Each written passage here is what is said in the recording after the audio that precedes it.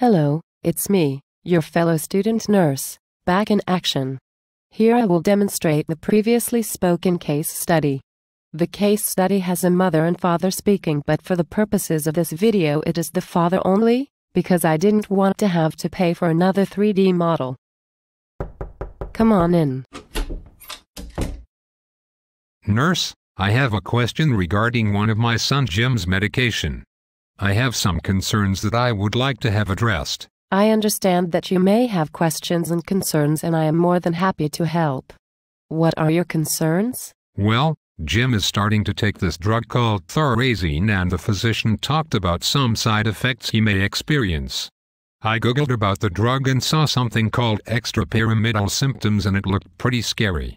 Can you explain to me what they are because I really couldn't understand all that science gibberish talk he was going on about? Extrapyramidal symptoms, or EPS for short, are possible adverse reactions that can occur as a result of the medication.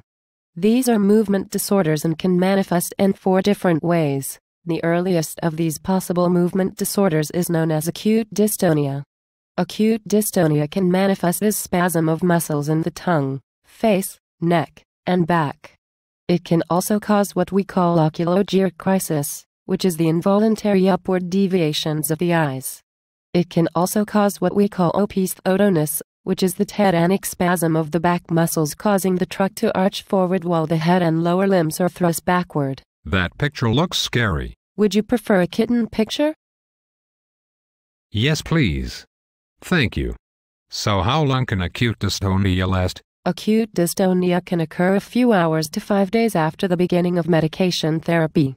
Another EPS is known as Parkinsonism and can occur 5 to 30 days after the onset of therapy. These symptoms include bradykinesia, which is slow movement. Also tremors, rigidity, shuffling gait, drooling, cogwheeling, and stooped posture.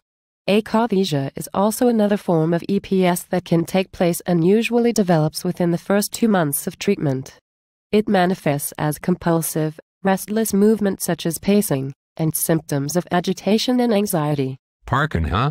A K what? Parkinsonism and akathisia. Sounds like vocabulary words to me. They sure do.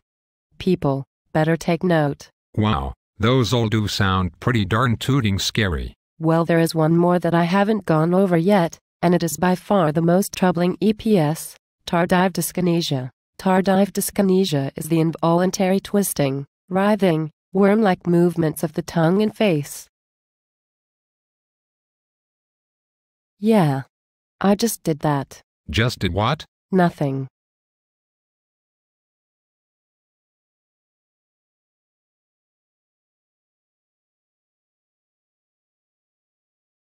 So I read somewhere that these symptoms only get worse.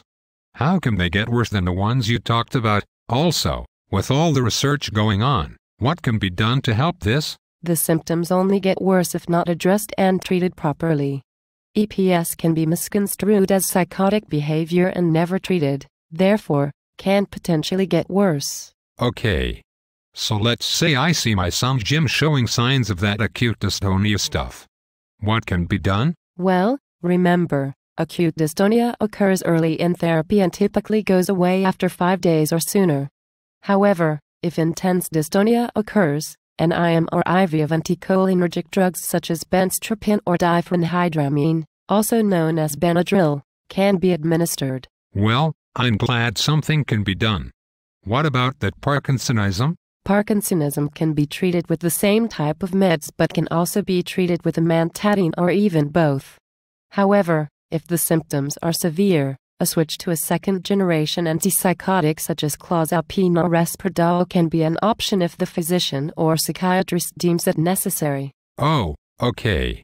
What about AK-47? I mean, akathisia? Akathisia can be treated either by reducing the dosage or switching to a low-potency antipsychotic, such as Seroquel or Zyprexa.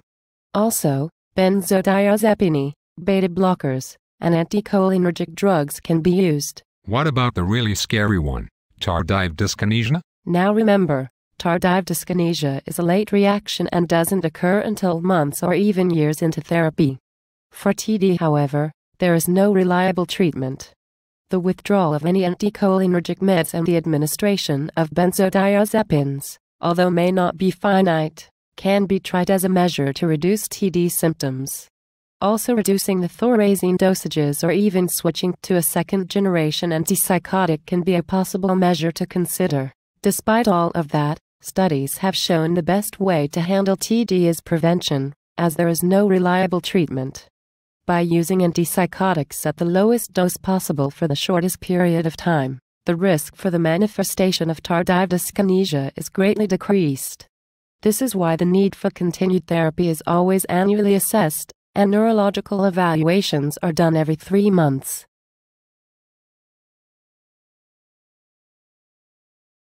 Wow, that was a lot of information.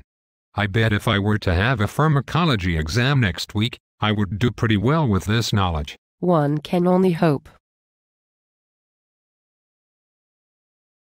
What are you looking at? Nothing. Are you on antipsychotropic meds? Do you have any other questions regarding your son's treatment? Oh, well, I understand that Jim might need to take the medication for the rest of his life.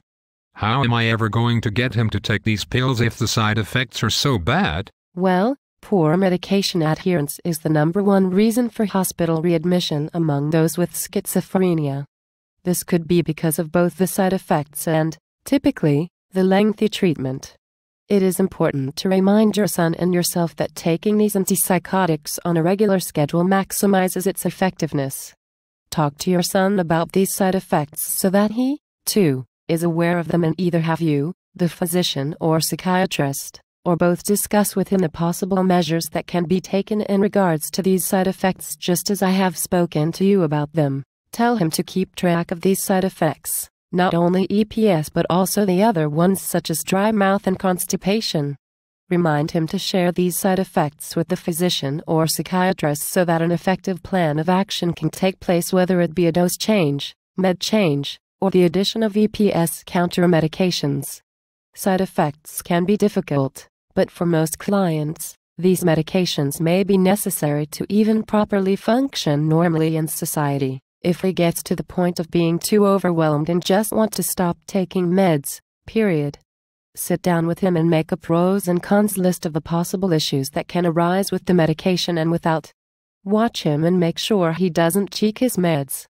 You may feel like the bad guy or the devil's advocate, and he may make you feel guilty, but remember, you are doing this for him.